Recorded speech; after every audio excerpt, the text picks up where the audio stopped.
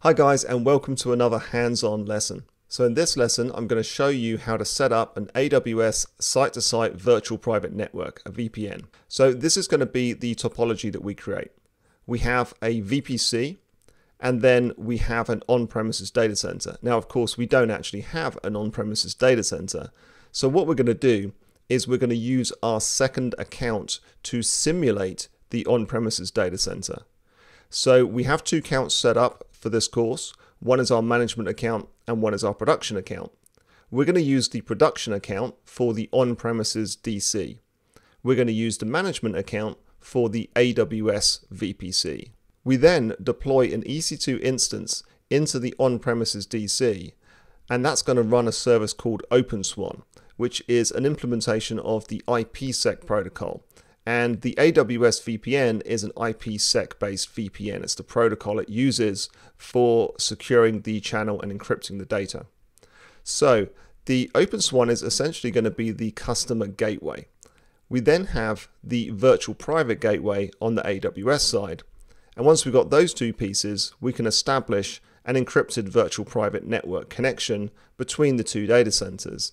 And this will use the public internet because we're going to be using public endpoints for both the VGW and the OpenSwan customer gateway. We'll then need to update our route tables. So the route table in the AWS VPC will have a propagation turned on for the virtual gateway. That means the routes that are advertised via the virtual gateway will be propagated into the route table. On the on-premises DC side, what we're going to do is add an entry and it's going to point towards the IP CIDR block of the AWS VPC and it's going to have a target of the instance ID of the OpenSwan customer gateway. We're then going to launch a couple of instances into our respective sites and we're going to have an internal server on the on-premises DC side and an EC2 instance on the other side. Of course, they'll both really be EC2 instances. And what we want to do is we're going to try and send a ping request from the internal server and it's going to use the route table entry and send the data to the OpenSwan customer gateway. And that's going to send it over the encrypted connection to the EC2 instance. And this will be using the private IP address of the EC2 instance. So that's what we're going to do. Let's go and set it up. Now, by the way, I do have some instructions which I'm going to share with you, and they're on this page here. And I'm going to show you every step of the process. You've got to be careful to make sure you follow through carefully. It's not a difficult thing to set up, but if you miss any of these steps, it won't work. So make sure you follow along carefully, and then you can use this as a reference point as well. So the first thing is we're going to go to our on-premises VPC, which remember is our production account, and launch an EC2 instance. And we have a few parameters here. We need to disable source destination checks. That means that we are able to route via the actual EC2 instance because it's not going to check the IP addresses that are coming in and going out. Now, if you don't have that disabled, it won't. You can't use IP forwarding with an EC2 instance. We're going to put it in a public subnet so that we can SSH straight into it. And so we need the port 22 open and we need ICMP all as well so that we can ping both from the AWS VPC to this instance across the VPN and we want to be able to send the other way as well, which will be the uh, security group on the other side. Once we've done that, we'll take a note of the public IP, come back to the management account and start setting up some stuff there. So let's go and do step one first. I'm in EC2, but at the moment I'm on my management account. So I'm going to switch to my other account, my production account. We're going to launch an instance, Linux 2 AMI, T2 Micro. Now let's launch two because one will be our OpenSwan server, the other will be that server we're going to use for testing. So I want to make sure I've got the right VPC selected. And in this case I have, and I've labeled my VPC so it says on-premises DC just to make it a bit clearer. I'm going to put them into one subnet here, US East 1A. And you've noticed I'm using North Virginia. So I'm using North Virginia for both sides of the connection and that just makes it easier flicking between consoles. Also, if you left your VPC peering connection up with Ohio, then we don't want to use that one because we'll have to take down that connection first. So I've got my on-premises DC selected, a public subnet, I've got two instances, and that's all I need to set up. Let's go through. I want to make sure I have a security group that allows SSH port 22 from anywhere, and ICMP v4 using the, the IP anywhere as well for IPv4. So make sure you have a security group allowing those two things. If you don't, then just create one. And then let's go and launch those instances. So those are launching. Now let's give one of them the name OpenSwan so we know what it is. And let's just call the other one server and click on save. So what we want now is for the OpenSwan server, go up to actions, networking, change source destination check, and we want to click on stop. So you have to do this if the instance is going to be forwarding connections. So let's click on save. And now we're going to copy the public. Now let's switch back to our other account, so our management account, which is going to be the AWS side of this connection. And while we're in EC2, let's launch the instance that we're going to use for testing on this side. Again, just the same settings as always.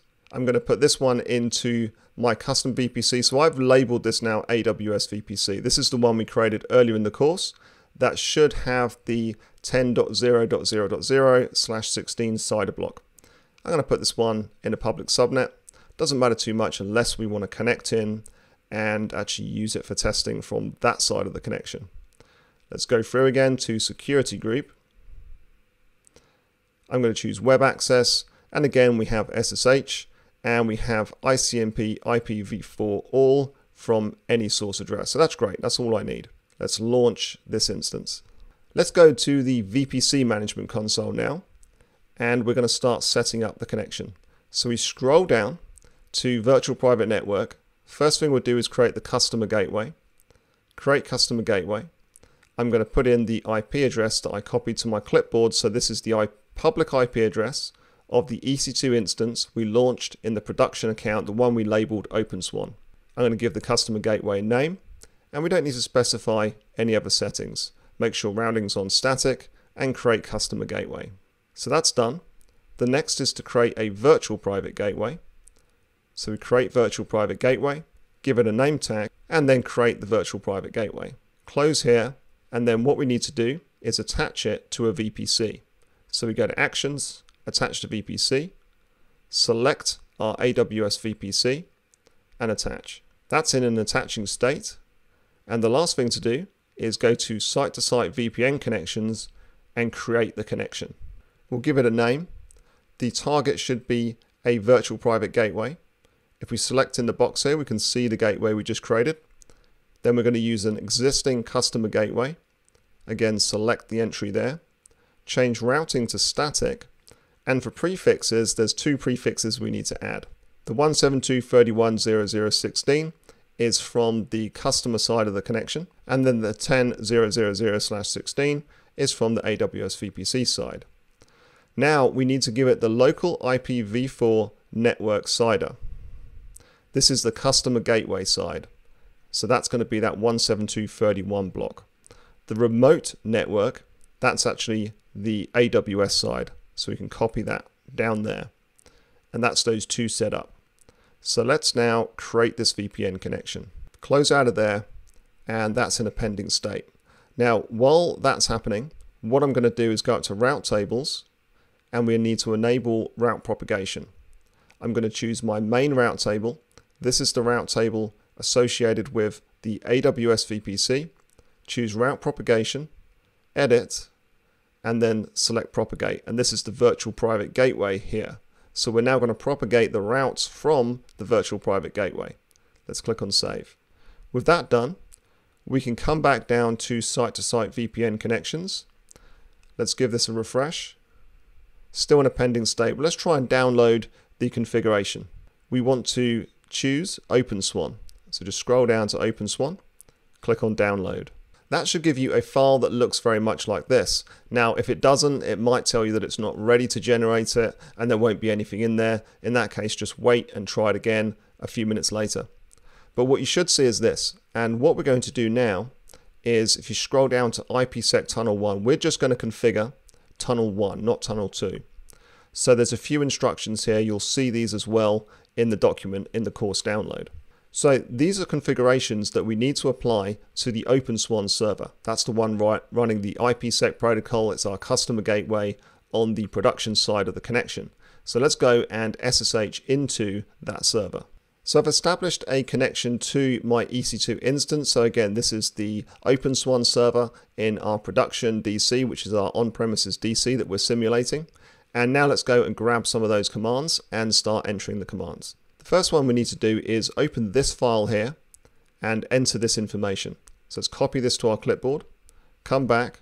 I'm going to use the nano utility. In fact, before I do that, I've got to switch to root, then use nano to edit the file just bring the cursor down underneath this text and then we need to copy this information here.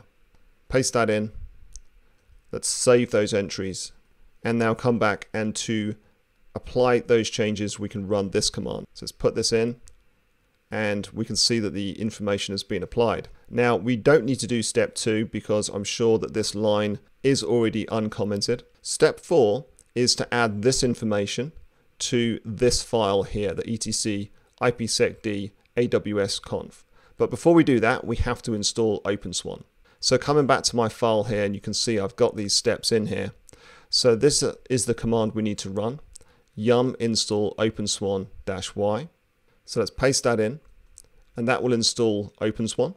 Now we've already done this next piece here, so we can come down now to this line here where we're nanoing and we're editing this AWS conf file. So we open this file and you can see it doesn't already exist, so it's empty.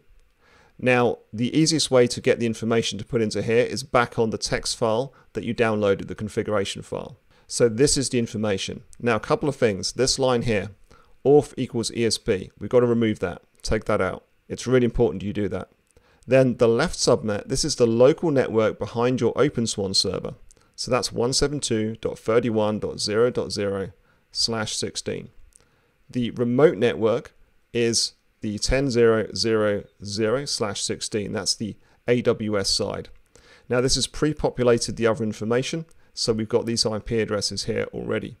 So we can now copy all of this, paste it in, save the file, and then let's see what the next one is. So the next file and again, you need to pull this information out of this text file because this is the up-to-date information. We need to edit this secrets file. So let's come back, use nano, and then we need to copy this line here from the first IP address. So these are the IP address endpoints for our two sides of the connection. And then this is the pre-shared key that's being used for authentication. So we just put that whole line in and then save the file. So back in this instructions file, we've just added this information here. We've just added the line to the secrets file, and now we can start IPsec. So let's run the command to start IPsec. Looks like it started, but we can come back and run this command to check the status. And that looks like it's active and running. So things are good there. Now let's go over to the console and see what we've got there. Hopefully we've got a connection which is running. We should have tunnel one which is up rather than down. Back in the management account, this is our VPN connection. Let's go to tunnel details and we can see tunnel one is up. So we only configured one tunnel, so that looks good. Now, if it still says down, then just give it a minute, give it at least a couple of minutes and keep refreshing because sometimes it does take a while to show that it's up.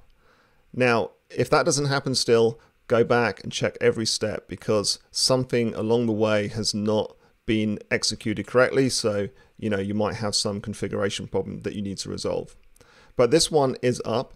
And what I want to do now is let's go back to EC2 and I'm going to go and copy the IP address. So this is the IP address, the private IP address of our instance on the AWS VPC. Let's try and ping that address and we get a good response.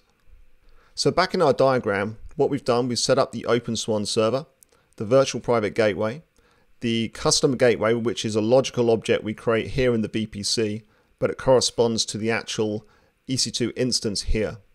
Then we've established a VPN connection. We've updated the route propagation, and what we're going to do is add an entry to the route table so we can ping from our internal server, but what we just did was ping from the OpenSwan instance itself, and we were able to ping this EC2 instance using its private IP address. So that tells us it's definitely going over the VPN connection. So the final test is we're going to add an entry to our route table in the on-premises DC and then we're going to SSH into the internal server and see if we can ping from there to the EC2 instance, which will mean it's using the route table entry, it's pointing to the OpenSWAN server, and then it's sending it on to the EC2 instance. So back in the console here, what I'm going to do is switch accounts again. Let's go to route tables. We've only got one. Go to routes, edit routes, and we're going to add a route, and this is going to be for the 10.0.0 slash 16 network, and it's going to go to an EC2 instance.